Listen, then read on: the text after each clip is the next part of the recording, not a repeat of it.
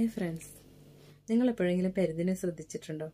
തോൽവികളിൽ നിന്ന് തോൽവികളിലേക്ക് പൂപ്പൂത്തിക്കൊണ്ടിരിക്കുന്ന ഓരോ മനുഷ്യർക്കും പരുന്തിന്റെ ജീവിതം ഒരു പാഠമായിരിക്കട്ടെ. പരുന്തിൽ നിന്ന് നമുക്ക് ഒരുപാട് കാര്യങ്ങൾ പഠിക്കാനുണ്ട്. പരുന്ത് എപ്പോഴും ആകാശവിധാനങ്ങൾക്ക് മുകളിലൂടെ മാത്രമേ സഞ്ചരിക്കാറുള്ളൂ. അവൻ താഴ് അവൻ അനേകായിരം പക്ഷികളെ പിന്നിലാക്കി അവൻ ഉയർന്നു പറക്കുന്നു. ആരെങ്കിലും ഉണ്ടോ എന്നെ തോൽപ്പിക്കാൻ എന്ന ഭാവത്തോടെയാണ് അവൻ ഉയർന്നു പറക്കുന്നത്. അവൻ ഒരിക്കലും ചെറിയ പക്ഷികളുടെ കൂടെ പറക്കാറില്ല. കുരുവികളുടെ കൂടെയോ അല്ലെങ്കിൽ ചെറിയ പക്ഷികളുടെ കൂടെ പരുന്ത് പറക്കാറില്ല. പരുന്തിന് ജയിക്കാനാണ് ആഗ്രഹം. അതുകൊണ്ട് തന്നെ അവൻ പരുന്തുകളുടെ കൂടെ മാത്രമേ യാത്ര ചെയ്യാറുള്ളൂ. നമ്മളും അതുപോലെ തന്നെ നമ്മുടെ ചുറ്റും ഒരുപാട് ആളുകൾ നമ്മളെ നെഗറ്റീവ് ആക്കാനും നമ്മുടെ കുറവുകൾ കണ്ടുപിടിക്കാനും ഒരുപാട് ആളുകളുണ്ടാവും. പക്ഷെ നമ്മൾ ശ്രദ്ധിക്കേണ്ടത് അവരെയൊന്നുമല്ല. നമ്മൾ വിജയിക്കാൻ ആഗ്രഹിക്കുന്നവരായതുകൊണ്ട് തന്നെ നമ്മുടെ വിജയങ്ങൾ മാത്രം ലക്ഷ്യം വെച്ചുകൊണ്ട് നമ്മൾ പറക്കണം.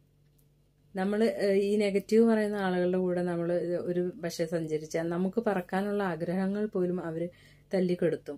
അതുകൊണ്ട് തന്നെ നമ്മൾ ഉയർന്ന ചിന്താഗതിക്കാരുമായിട്ട് കൂട്ടുകൂടാൻ ശ്രമിക്കുക. മുല്ലപ്പൂമ്പൊടി ഏറ്റുകിടക്കും കല്ലിനുമുണ്ട സൗരഭ്യം എന്ന് കവി പറയുന്നത് പോലെ.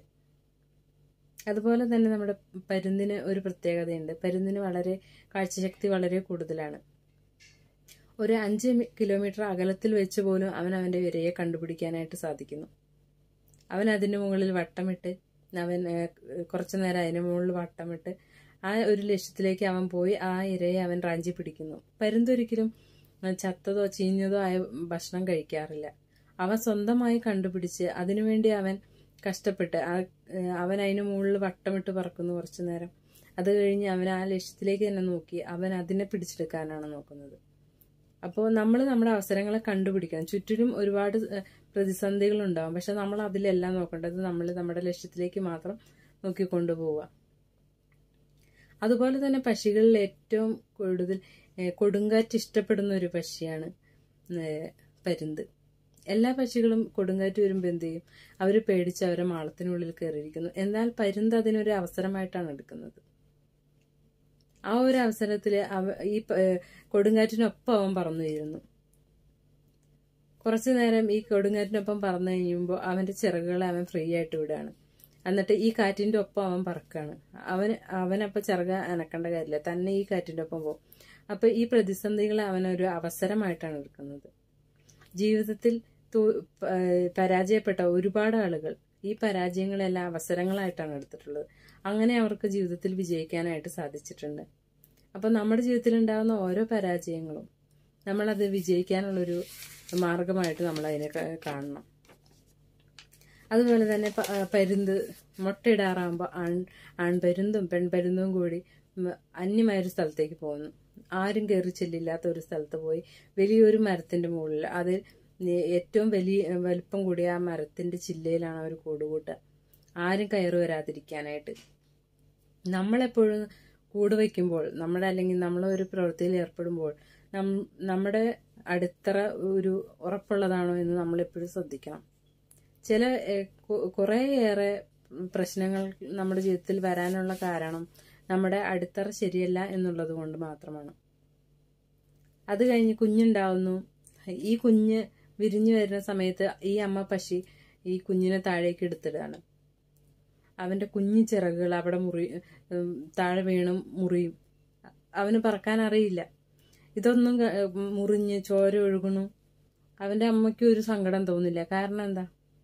ആ അമ്മ ചിന്തിക്കുന്നത് എന്താ? ഇനിയും ജീവിതത്തിൽ ഒരുപാട് പ്രയാസങ്ങൾ ഇവന്റെ ജീവിതത്തിൽ നേരിടേണ്ടവനാണ് അപ്പോൾ ഇപ്പോഴേ ഇവൻ പഠിച്ചാൽ മാത്രമേ അവൻ ആ ഒരു ജീവിതത്തിൽ വരുന്ന പ്രതിസന്ധികളെ എങ്ങനെ തരണം ചെയ്യാൻ കഴിയൂ എന്ന് ആ അമ്മയ്ക്ക് അറിയാം. അതുകൊണ്ടാണ് ആ അമ്മ ആ നേരത്തൊന്നും പ്രതികരിക്കാത്തത്. അവൻ വീണും എഴുന്നേറ്റും വീണും എഴുന്നേറ്റും അവൻ പ്രാപ്തനാവുന്നു. അങ്ങനെ നമ്മുടെ ജീവിതത്തിലും നമ്മുടെ മാതാപിതാക്കളെ അല്ലെങ്കിൽ നമ്മുടെ സുഹൃത്തുക്കളെ നമ്മുടെ സ്ഥാ നമ്മൾ ജോലി ചെയ്യുന്ന സ്ഥാപനത്തിൽ നിന്ന് നമുക്ക് ഒരുപാട് ഒരുപാട് പ്രശ്നങ്ങൾ അല്ലെങ്കിൽ അവർ നമുക്ക് ഓരോ വേദനകൾ നമുക്ക് തരും. പക്ഷെ അതിലൊന്നും തള്ളരുത്. അതൊക്കെ നമ്മളെ സ്ട്രോങ് ആക്കാൻ വേണ്ടിയിട്ട് നമ്മുടെ ജീവിതത്തിൽ ഉണ്ടാകുന്ന ഓരോ സംഭവങ്ങളാണ്. അതിന് നമ്മൾ അങ്ങനെ തന്നെ നല്ല രീതിയിൽ കൈകാര്യം ചെയ്യണം. അതൊക്കെയാണ് നമ്മളെ ഈ പരുന്ത് പരുന്തിന്റെ ജീവിതത്തിൽ നിന്ന് നമ്മളെ പഠിപ്പിക്കുന്നത്. അതുപോലെ തന്നെ പരുന്തിന് വയസ്സായാൽ പരുന്തിന് വയസ്സായി കഴിഞ്ഞ് കഴിഞ്ഞാൽ പരുന്തിനൊരു പ്രത്യേകതയുണ്ട്. പരുന്തിന്റെ തൂലുകൾക്ക് കലം കനം കൂടും. അപ്പോൾ അവന് പറക്കാനായിട്ട് സാധിക്കില്ല. ആ സാഹചര്യത്തിൽ ഈ പരുന്ത് അങ്ങകലെ ദൂരെ ഒരു മലമുകളിലേക്ക് പോവുകയാണ് അവിടെ ഒരു മലയുടെ ഇടുക്കിൽ അവൻ പോയി ഇരിക്കും. തന്റെ തൂരുകളെല്ലാം കൊത്തിപ്പറിച്ച് കളയും. അത് കഴിഞ്ഞിട്ട് ഒരു ഇരിപ്പാണ്. പുതിയ പുതിയ തൂവലുകൾ വരുന്നതിന് വേണ്ടി. പുതിയ തൂവലുകൾ വന്നു കഴിഞ്ഞ് കഴിയുമ്പോൾ അവൻ ആ ചിറകുകളും വെച്ച് ആകാശവിധാനത്തിലേക്ക് അവൻ പറന്നുയരുന്നു പൂർവാധിക ശക്തിയോടെ. നമ്മുടെ ജീവിതത്തിലും ചില പിൻവാങ്ങലുകൾ പിൻവാങ്ങലുകളൊക്കെ വരാറുണ്ട്. അത് നമ്മളെ ഒരിക്കലും തോൽപ്പിക്കാനുള്ളതല്ല. ചിലപ്പോൾ നമുക്ക് ചിലയിടങ്ങളിൽ നമുക്ക് മൗനം പാലിക്കേണ്ടതായി വരും. ചിലയിടത്ത് നമുക്ക് ധ്യാനിക്കേണ്ടതായി വരും. ഏകാന്തമായിരിക്കേണ്ടി വരും. ആ ഒരു സാഹചര്യങ്ങളിലെല്ലാം നമ്മൾ ഒന്നുകൂടെ കരുത്ത് ആർജിക്കാനുള്ള ഒരു സമയമാണ്. നമ്മുടെ നമ്മുടെ ശരീരം മനസ്സ് ഒന്നുകൂടെ അപ്ഡേറ്റ് ചെയ്യേണ്ട സമയമാണ്. അപ്പം നമ്മൾ ഈ പരുന്തിന്റെ ജീവിതം നമ്മളെയും പഠിപ്പിക്കുന്നത് എന്താണ്?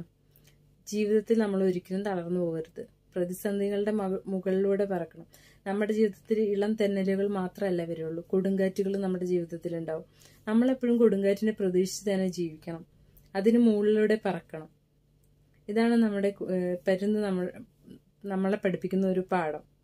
നമ്മൾ മത്സരിക്കേണ്ടത് മറ്റുള്ളവരുമായിട്ടല്ല. നമ്മളോട് തന്നെയാണ് നമ്മൾ മത്സരിക്കേണ്ടത്. ജീവിതത്തിൽ തോറ്റു പോകാതെ നമ്മളെപ്പോഴും സ്ട്രോങ് ആയി നിൽക്കണമെങ്കിൽ ഇങ്ങനെയുള്ള ഈ പരുന്തിന്റെ ജീവിതം നമുക്കൊരു പാഠമായി തീരട്ടെ. Okay bye